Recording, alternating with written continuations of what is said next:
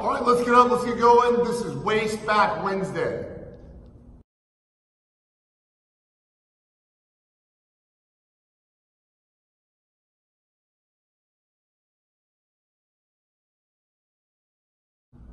Go down by 10 so you get to 10 and you're done.